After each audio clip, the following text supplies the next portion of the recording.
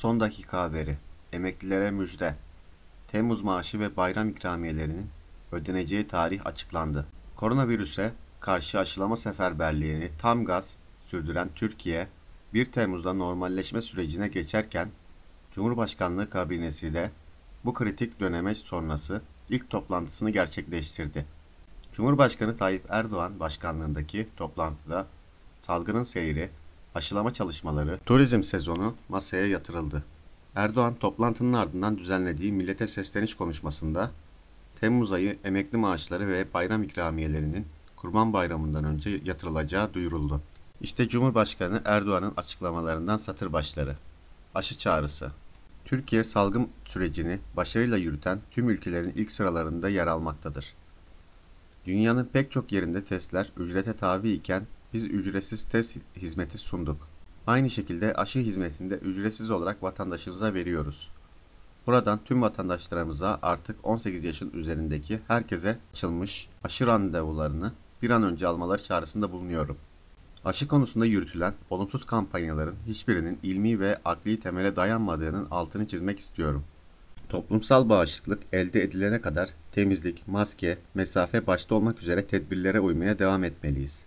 524 milyar liralık bir kaynağı harekete geçirdik. Bütçeden de çeşitli fonlardan sunduğumuz doğrudan desteklerin tutarı 150 milyar lirayı aşmış durumda. Yıl sonuna kadar bu tutarın 196 milyar liraya yani milli gelirimizin %3,5'una ulaşmasını bekliyoruz. Kullandırılan ve tüm ertelenen krediler ile vergi ve sosyal güvenlik primleri yoluyla da 524 milyar liralık bir kaynağı harekete geçirdik. Bu sayede ihtiyaç sahibi vatandaşımızdan çalışanımıza, üreticimize, yatırımcımıza kadar kimseyi yalnız bırakmadık. Tarım desteğinde toplam desteğin 15 milyar lirasını ilk 6 ayda üreticilerimizin hesaplarına yatırdık. Hem alım yaptığımız ürünlerin kapsamını genişlettik hem de çiftçimizin yüzünü güldürecek fiyatları açıkladık.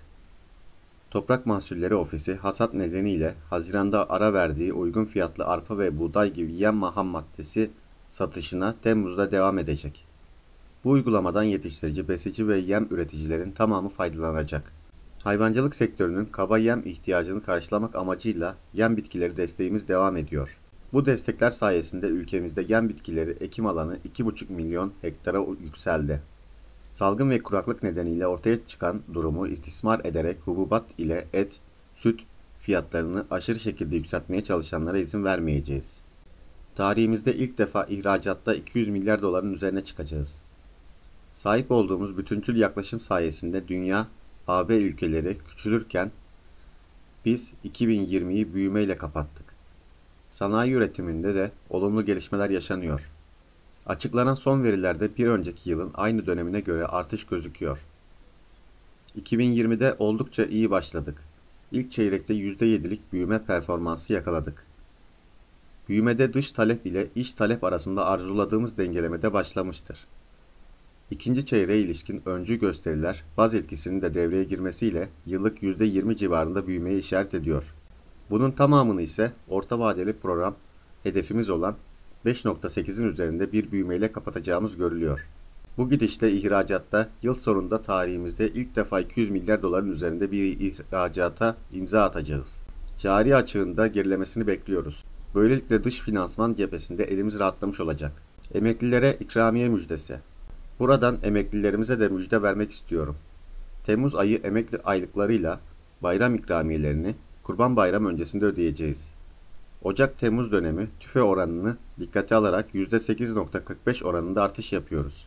Böylece 12.7 milyon vatandaşımıza 12.3 milyar lirası Kurban Bayramı ikramiyesi olmak üzere toplamda 38 milyar liralık ödeme gerçekleştireceğiz. Ciddi KDV indirimleri yaptık. Türkiye ekonomisinin en sağlam alanlarından birisi de kamu maliyesidir. Ocak-Mayıs döneminde son derece güçlü bir bütçe performansı gösterdik. Geçtiğimiz senenin ilk 5 ayında bütçe açığı 90.1 milyar lira iken bu yılın aynı döneminde açık 7 milyar liraya geriledi.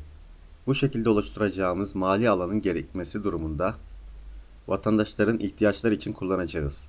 Ekonomik kararlara olumsuz etki edecek yatırımların ve girişimciliği engelleyebilecek maliyette ağır bir vergi yükünün ortaya çıkmasını istemiyoruz. Hükümetlerimiz döneminde giyimde, ilaç tedavi hizmetlerinde, zirai faaliyetlerde, turizmde ciddi KDV indirimleri yaptık. 46 milyar liralık KDV ve ÖTV'den feragat ediyoruz. Askeri geçim indirimi uygulaması getirerek çalışanın vergi yükünü düşürdük. Son olarak ekonomi reform programımız kapsamında basit usulde vergilendirilen esnafımızın tüm kazançlarını vergi dışında bırakıyoruz. İstihdam maliyetinin yaklaşık %36'sına tekabül eden 1556 lirayı devlet olarak biz ödüyoruz. Bu desteği kadın, genç, engelli istihdamında 18 ay olarak uyguluyoruz.